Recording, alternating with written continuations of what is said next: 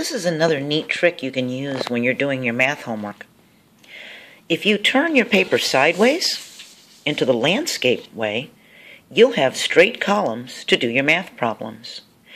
One of the biggest mistakes that people make when they're doing math is they don't line their columns up correctly and they end up adding, subtracting, multiplying, or dividing the wrong numbers. By having your paper go this way, it automatically gives you the columns that you would need to put your numbers in. For addition, you would add the correct columns. Same for subtraction. It helps you keep your columns in order in multiplication, especially if you're doing double, triple, quadruple digits. Long division ends up becoming easier to see because you see the columns that the numbers come down in. And it keeps everything in order.